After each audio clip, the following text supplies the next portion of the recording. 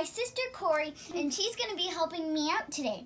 Today we're going to be doing some ink, and we are going to have aprons on, but we don't have gloves, but I would re- recommend you doing this if you're going to follow along. So, I'm going to show you a couple pictures. So, this is what the paper looks like. It's called Yupo paper, and you can get it in many different sizes. Yep. And so this is what it looks like. So you can just kind of collage with it, and we're gonna we are gonna be using ink. So You you can also you can also like if you have like a white pen or something like that, like you can uh, go Draw in and into add it. into it. yeah. So here are a couple pictures of it, and then And then you can also frame it too. Yeah, if you it looks really to. pretty. You so like you can display and like see the, the like the little detail in it with like all the black and the white and the So- colors. So many colors. That one is one I created, and Corey is right. I like to, we're using alcohol ink as the basis, and then I like to find um, find papers to put behind them and then draw back into them for the final product. Yeah, and So- when, and when you're done, you can you can write your name with any color pen. Yes. Okay, so um, Tatum was right. This is the kind of thing where we need aprons. And yes, it is recommended that you use uh, Gloves. gloves if you have them. Um, we're kind of not so We just worried go about. for We it. just we yeah yeah, we just Go for it. we just Doesn't go matter. for Um, it'll Doesn't it'll wash matter. off in a couple days. it. it is ink though, right? Yeah. All right, so we did have a pause because we needed to get our apron on and we needed to turn on the fan. It was kind of hot.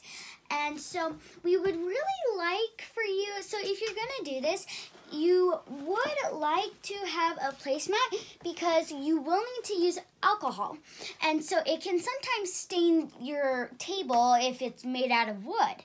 So, we're just gonna be we're not really gonna line it up today we're just gonna be pulling it out and so Can you show them what the alcohol gonna- ink looks like? yes so it looks like this And how do you know what color it is?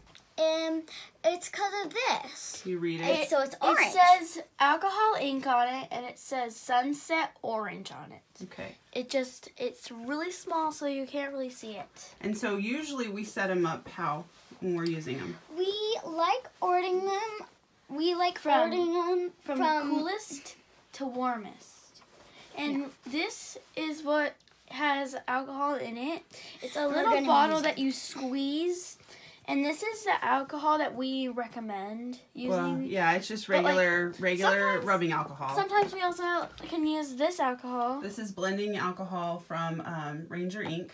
So most of our inks are the same brand. They're Ranger inks. Um, they're just the ones I found that I like the best. So um, that's kind of where we go. This is like another one of those, but it's uh, it's a different Cool color. brand. It's like this. It's the same. Yeah. It's the same brand. Okay, are you guys ready? All right. So right now we have all of the sinks, the ink set up. So this is the colors that I wouldn't use, and these are the sprays. So um, that Do the sprays work like. well? No, I would probably shake them up before you start using them because, it sometimes it clogs up, so it's it gets really frustrating. So, so we do have a straw for me to blow because um, I like I like spreading it all around, and so What right- other tool do you have? um, so we have this kind of stick kind of thing, and you use it you show to it to swirl us? around. Corey, Thank you. it's it looks like this, and you use it to just kind of swirl around with the ink. So. All right. So I'm gonna start with a pretty kind of maroon, kind of pink color. Okay. Sometimes it can get a little crusty when there's some drips, kind of like this. See that? Yeah. So we can use, Baby wipes to clear it off. yeah, baby wipes are awesome in the art studio, Oh, aren't yeah. they? Yes, they are. We can use them from everything from blowing our nose to wiping the table and all kinds of stuff. Mm-hmm. Yeah. And look at that pretty color. I'm excited to use this color on here. And Corey is going to be helping me a little bit on this.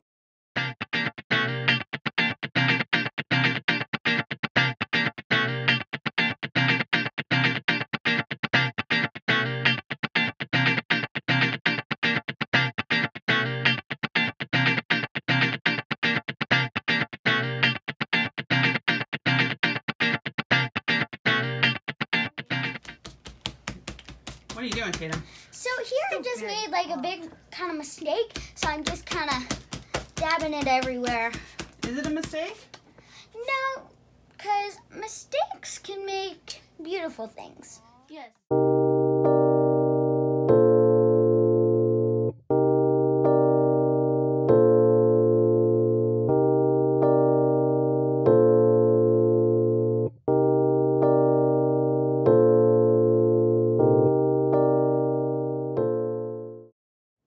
Tatum.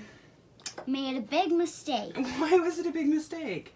Well, I put some blue in it and then we tried to make it go away. So yeah, there's still some blue, but we tried our best to put it some warm colors back in. And is and it turning it turned out? out okay. Yeah. So So right now I'm just kind of frustrated. So I think you really need to know that it, sometimes you're gonna get frustrated with your work. And it's okay to get frustrated because frustrated, you can learn from things that way. yeah. Yep. So were you a little angry? Yeah, I was. Now how are you feeling? I'm feeling okay. Because you got through it. What are you doing right now? So right now I'm just trying to make it drip. And while you're dripping, are you considering the next steps? So the next step is letting it dry and then maybe going back into it if you want. Yeah, I think you could add the gold that you wanted to add on top after it dries.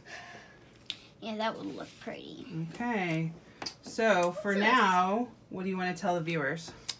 So, what I'm thinking is so yeah, you always want to have gloves on if you have them, but for right now, we just kind of go into it because we love doing art. And so, the other thing is, please watch my sister Corey. She is gonna do awesome with her cooking channel that she's gonna make. Okay? All right. Thanks. So please leave some subscribes on that. Subscribe. oh, they, you want subscribers on Techniques with Tatum And give it a And- big thumbs up. And Cooking with Corey.